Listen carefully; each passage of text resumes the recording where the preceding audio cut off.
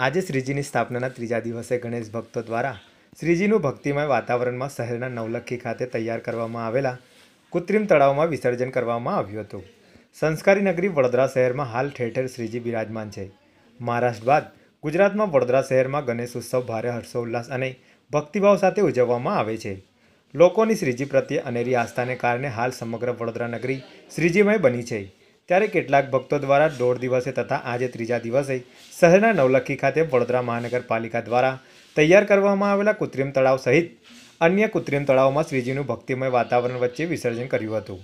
નવલખી ખાતેના કૃત્રિમ તળાવ ખાતે હજી પણ તળાવમાં પૂરતું પાણી ભરવામાં ન આવતા કેટલાક ગણેશ ભક્તો દ્વારા પાલિકાની કામગીરી સામે સવાલો ઊભા કર્યા હતા.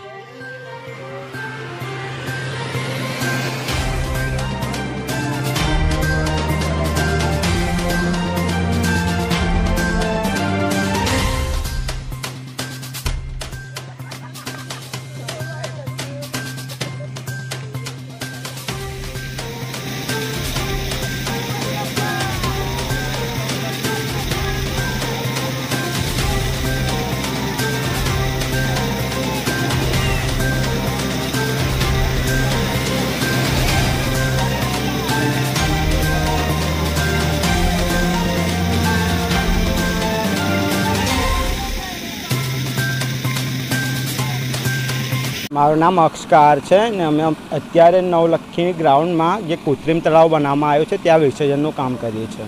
જી આજે આજ રોજ કેટલી પ્રતિમાનું વિસર્જન અમે સવારથી લઈને હમણાં સુધી દસથી પંદર મૂર્તિનું વિસર્જન કર્યું છે. એ તો આ કંઈ કહેવાય ના આવે તો વધારે બી આવી જાય. તમારી સાથે સમગ્ર ટીમ કેટલા લોકો તમે કામ કરી રહ્યા અમે અહીંથી અત્યારે ચાલીસથી પચાસ લોકો ગયો છે વિસર્જન માટે. શું નામ?